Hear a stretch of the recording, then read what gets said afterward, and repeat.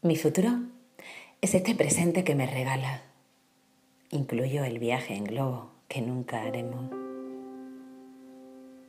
Te abrazaré despacio y te lameré violenta.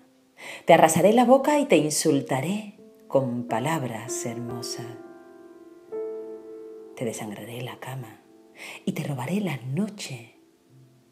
Te maltrataré el cerebro y sembraré en él un desierto en celo, azul sobre tu negro.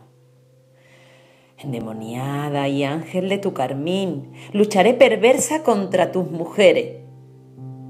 Y tú, tú me amarás excitado y distinto, como un devoto de mí.